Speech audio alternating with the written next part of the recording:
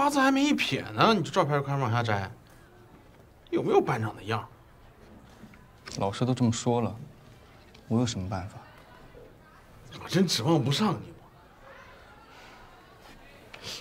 别摘了啊！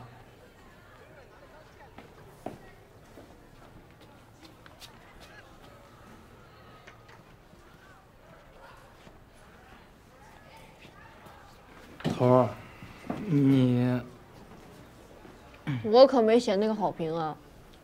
那肯定，咱怀疑谁也不能怀疑你。我是想说，你给个主意呗。这次啊，插班公示是贴出来了，学校啊做好准备喽。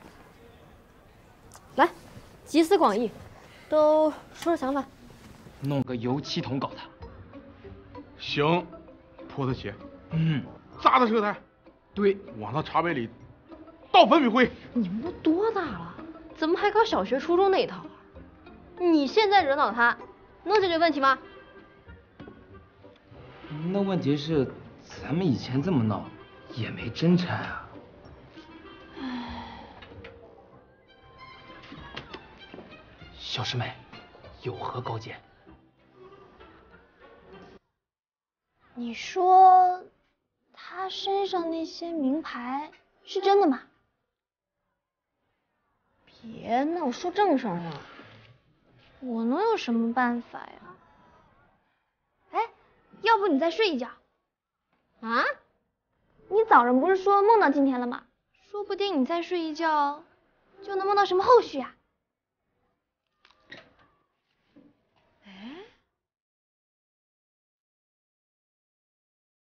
我去上个厕所。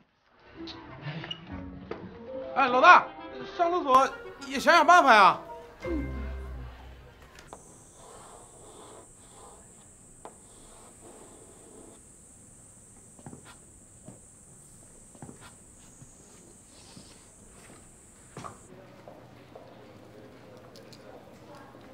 怎么样，天才，想出办法没有？于明，你要是有时间，就赶紧收拾一下，上别的班去。这次拆班，我唯一高兴的就是可以跟你老死不相往来了。这么快就认输了？我本来是想来帮你的。你是不是做什么亏心事儿了？嗯？我做什么亏心事儿了？啊。哦。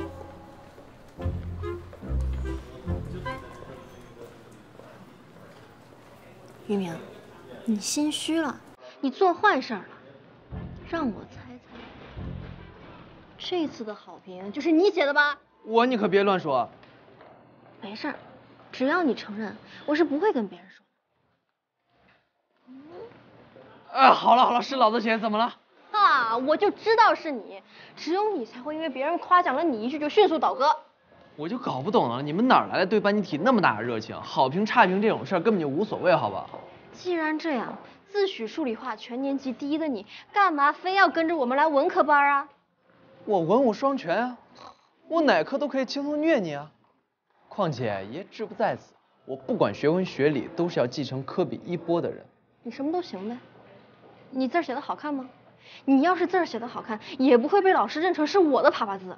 行吧，那下次我就不用脚写了。你，我的脑瓜好还体现在我能想出你想不出的不拆班的方法，想不想知道？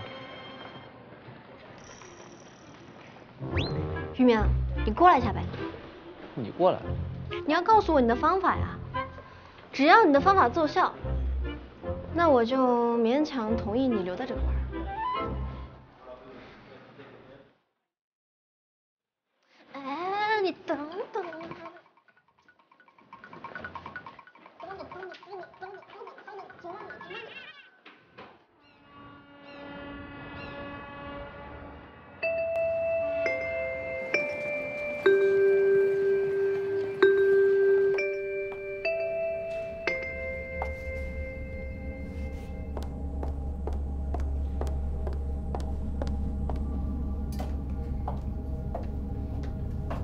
坐这儿没用，都回家吧。我说拆就拆。预备，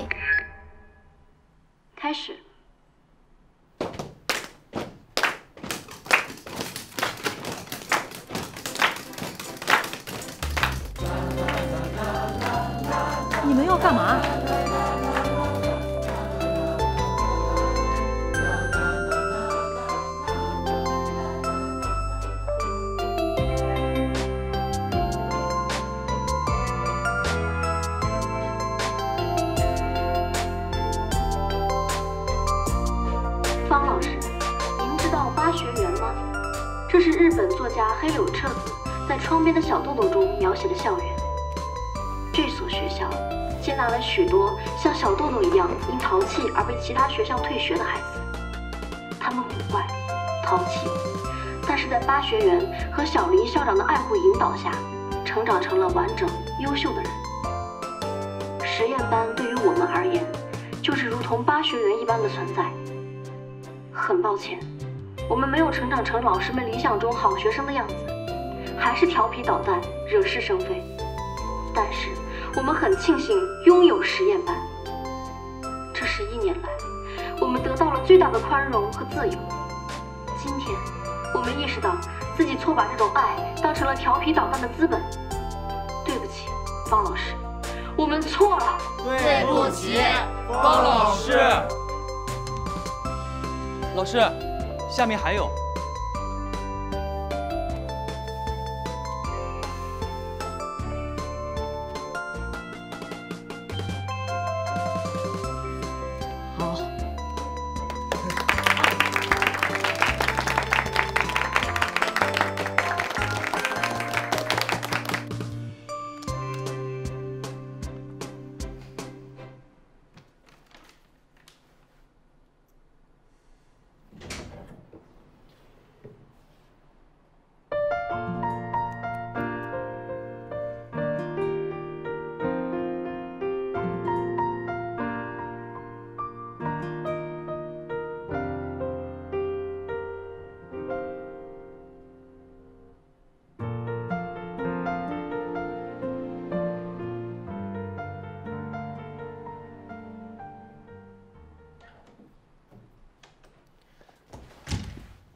怎么样，成功了吗？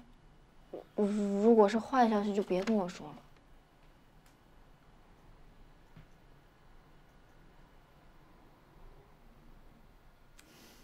成功啦！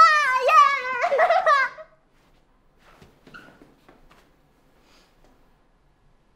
嗯，那个文笔不错啊。这稿子是你自己写的吗？有几分我小学时的风采。当然不是，有人教我的。谁呀、你管得着吗？今天早上的账我还没给你算呢。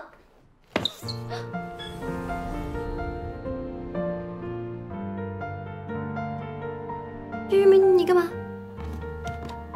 保护好开关键。两个人一摔，顺手摁开广播台，然后全世界都以为咱们两个有情况。欧阳剧不都这么演的吗？我跟你之间又没有什么见不得人的话。那你说呀。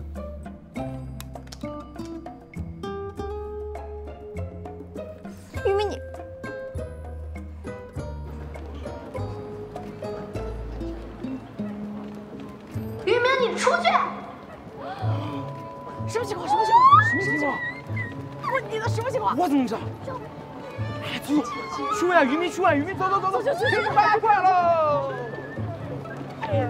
去看去看去看！各位听众，晚上好，这里是红娃与鱼电台。荣格说，潜意识指引着你的人生，而你称其为命运。而命运的诡谲在于，那些改变命运的决定和瞬间，在日记上其实相当的沉闷平凡。只是当时站在三岔路口，眼见风云牵强，还以为那不过是生命里最平凡的一天。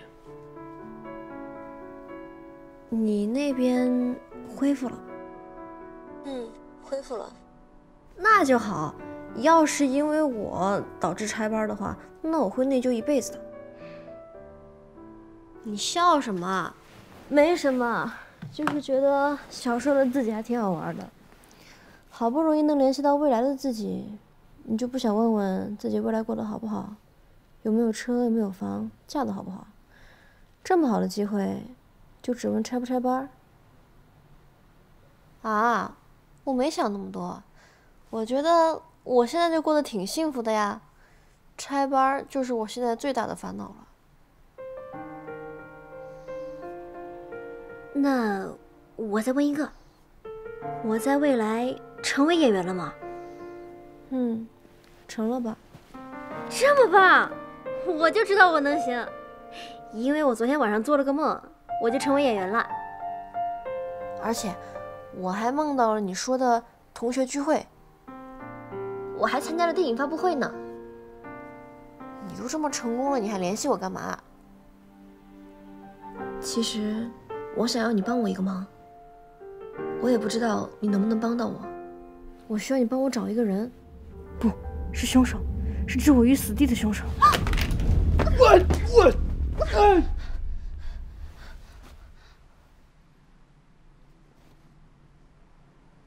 你又发什么神经？你又发什么神经？你怎么会在这儿？你睡不睡？你不睡，我睡了。于明怎么会在这儿？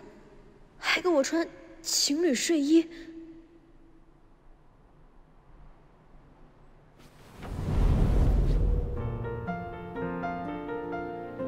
你是不是想跟我玩陌生人那一套？于明，冷静，你不要这样。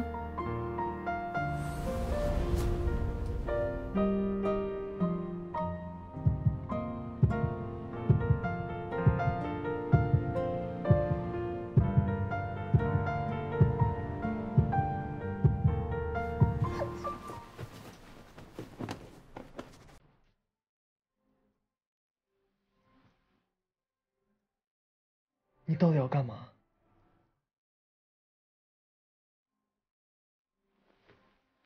我洗澡去了。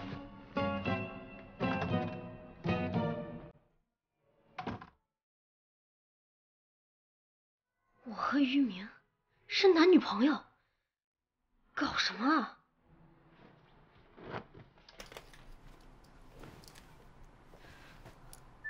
你做什么了？怎么把我跟于明搞到一起了？于明，怎么可能啊！我什么也没做呀。完了，不会是那次广播室？成功了，耶！新的记忆，所以这是零七年新发生的事儿。真是搞不懂，就这点联系就改变我万年单身的现状了。不管怎么样，在我彻底调查清楚 MP 三的运行机制之前，你不要再胡来了，听到没有？那你先告诉我，这次的高雅艺术进校园公益片，我试上了吗？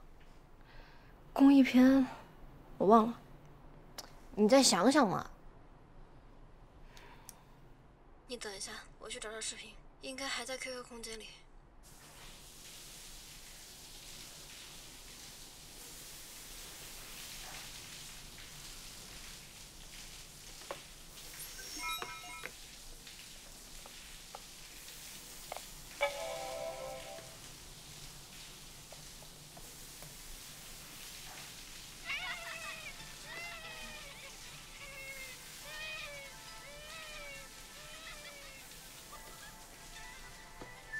嗯，女二号。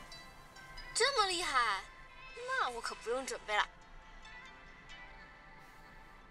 宋大川，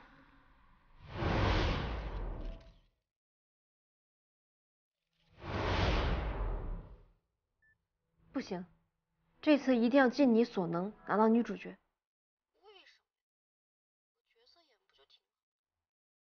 剧本里的一切都是为了主角服务，包括导演和所有配角。那我该怎么做呀？你不是没当上女主角吗？现在不一样了，你要出其不意，要夸张，要懂得看似把东西往外推，但实则却把细点放在自己身上。夸张，往外推，放到自己身上，往外推，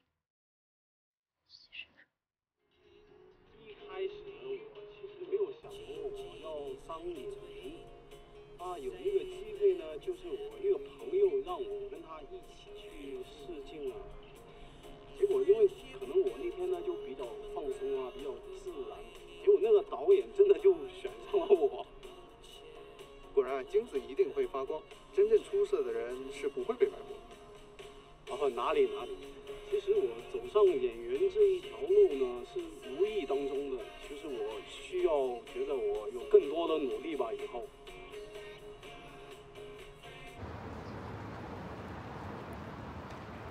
哎，你真的不去试镜了？你要是去的话，主角肯定是你的呀。哎呀，你不懂，真正的主角是不能主动去试镜的。那不去试镜怎么当主角啊？要等着被人发现呀。你没听说吗？什么梁朝伟啊、刘德华呀，都是陪朋友去试镜，一不小心就被星探给发现了。这才是主角该拿的剧本呀。有道理啊。嗯，你可以假装不报名，到时候找借口陪别人去，然后再被导演一眼看中。嗯。可是导演看不到他呀。不可能，真正有眼光的导演怎么会看不见在人群中潜在的明星呢？再说了，再不济我也是女二号。谁告诉你？这是我，嗯，是一个知道内幕的人告诉我的，保证有效。不过为了保险起见，我必须要找一个足够吸引眼球的搭档陪我一起去。导演看见他，就能多看几眼跟他一起来的我。哎。你们说谁最有可能演男主角？男主角得帅吧？嗯，学校第一帅，那肯定是我男神张鹏飞啦。不过他不是咱们班的，那就是金宇浩呀。看他现在的脸，简直就是偶像剧男主啊！旁边要是再配上 他，旁边不能有帅哥，只能有我这个美女。老板买单。可是金宇浩现在他太帅了，你站在他身边的话，导演会看不到你的。那不可能，美还是我最美。老板，这小卖部的大爷又出去玩了，让金宇浩在这收拾烂摊子呢。嘿，金宇浩睡着了，可不好叫醒啊。买单。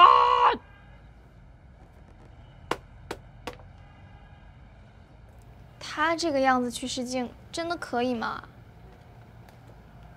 不行，我得找个 B plan，要找一个帅的，但是又没这么帅的。总而言之，就是要找一个帅的恰如其分的帅哥。行行行，防防防！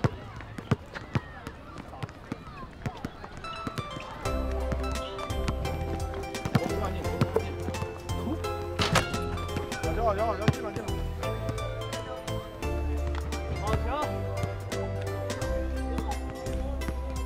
阳光下的身影忽然朝我靠近，眼神不怀好意，转身就走，找个借口，脚步乱了节奏。为什么最近都不敢看你眼睛？别对我笑嘻嘻，某种电流穿过胸口，不能再做停留。突然想长帅了没啊？你的眼睛，你的味道，还有你的嘴角，突然不打了，不打了，不打了，不打了。可逃离境界范围不过几秒，你又钻到我脑海乱跳。喂，玉明。玉秀，你怎么在这儿？不好意思啊，可能没看见，海拔差距有点大。哎呀，有些人的营养大概都是用来长身体的，难怪不长脑。给你补补脑子吧。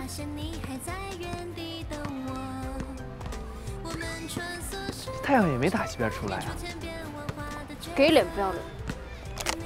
你的贿赂我收下了，说吧，找本奈尔什么事儿？呃，那个艺术节的影视拍摄，你打算报名吗？我报那个干嘛呀？我们篮球队马上选拔了，我要训练，对那个没兴趣。不是要让你去演，就是让你和我去一趟试镜就行，耽误不了你多长时间的。灭绝师太让你来做动员工作呀？你应该去找马星野、冷阳、相当他们。我没兴趣，他们可积极了。你本来就是 B plan，必须要去。别人不行，我就要你。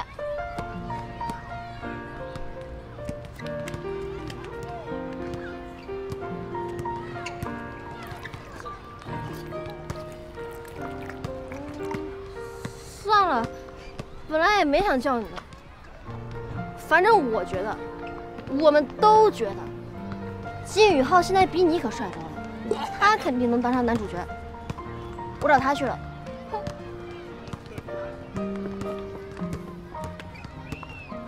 哎，那试镜几点在哪儿啊？你自己想吧。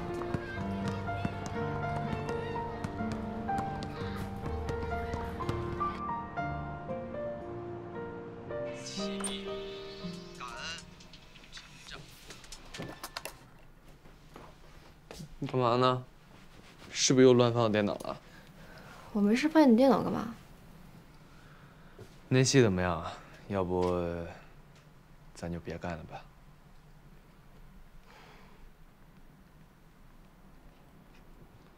嗯，睡觉吧。宋导的试镜我还剩一点材料没发完，你去出去睡吧。